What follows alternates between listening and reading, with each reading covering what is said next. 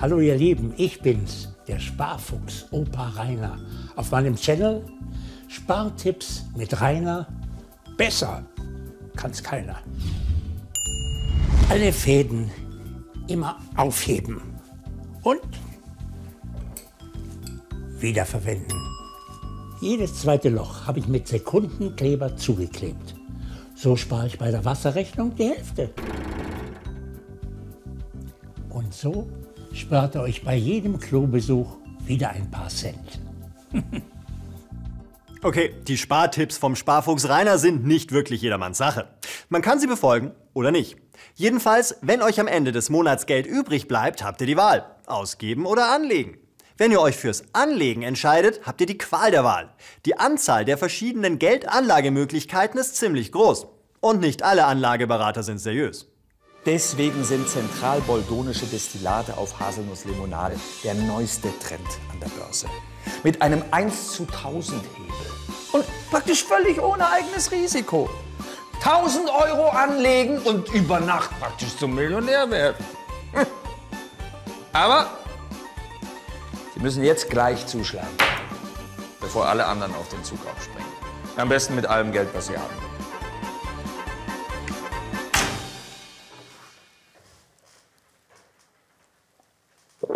Am sichersten ist euer Geld auf einem Sparbuch angelegt. Eine Alternative zum Geldanlegen auf dem Sparbuch ist der Kauf von Wertpapieren. Dazu gehören zum Beispiel Aktien. Schau mal, Schatz, ich habe das neue Stylephone gekauft. Das ist der Wahnsinn. Ein einziges Stylephone?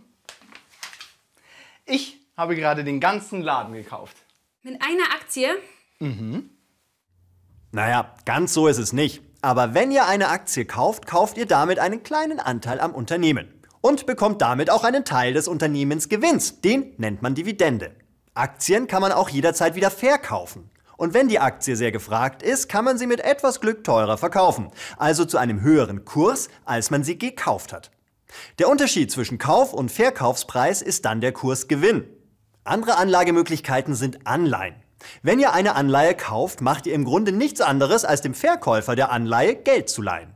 Das Geld bekommt ihr nach einer bestimmten Zeit zurück, zusammen mit einem vorher vereinbarten Zins. Anleihen kann man meist auch wieder verkaufen. Eine weitere Möglichkeit sind Investmentfonds. Dabei kauft ihr einen Anteil an Investmentfonds, die viele verschiedene Wertpapiere oder Immobilien enthalten. Der Vorteil davon ist, dass bei vielen verschiedenen Wertpapieren Kursschwankungen nicht so sehr ins Gewicht fallen, als wenn man nur in eine Aktie investiert. Denn wenn es für das Unternehmen nicht gut läuft, kann es sein, dass deren Aktie drastisch an Wert verliert oder im schlimmsten Fall sogar gar nichts mehr wert ist.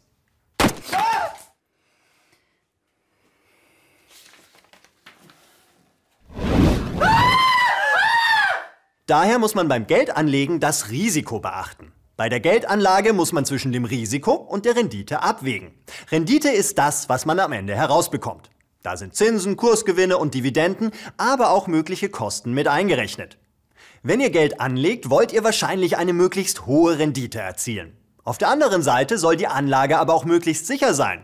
Nur leider gibt es Anlagemöglichkeiten mit einer sehr hohen Rendite bei absoluter Sicherheit, das heißt Null Risiko, nicht. Doch gibt's zentralboldonische Haselnuss-Limo-Destillate. Nein, nicht in Wirklichkeit. Im realen Leben müsst ihr euch als Anleger immer entscheiden, welches Ziel euch wichtiger ist. Sicherheit oder Rendite. Je stärker man ein Ziel verfolgt, desto weniger kann man das andere Ziel erreichen. Entscheidet ihr euch für eine sichere Anlage, bekommt ihr das angelegte Geld sehr wahrscheinlich wieder ohne Verluste zurück. Im Gegenzug dafür wird die Rendite aber auch sehr gering ausfallen. Andersherum gehen hohe Renditen oft mit hohem Risiko einher, was bedeuten kann, sein Geld unter Umständen nicht wiederzubekommen. Schwierig, sich hier zu entscheiden. Aber mit den folgenden drei Grundregeln kommt ihr schon ziemlich weit. Erstens, investiert nur in Anlagen, die ihr versteht. Informiert euch über die konkrete Geldanlage.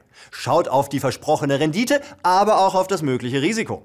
Zweitens, verteilt euer Geld auf mehrere Anlageformen. Wer alles auf eine Karte setzt, kann alles verlieren.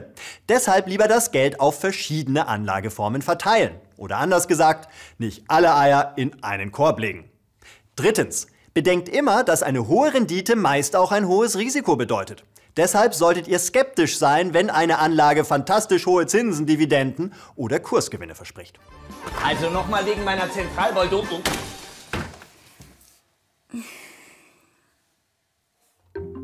Also nochmal zusammengefasst. Von einem Kursgewinn spricht man, wenn der Wert einer Aktie steigt und man sie teurer verkaufen kann, als man sie selbst gekauft hat.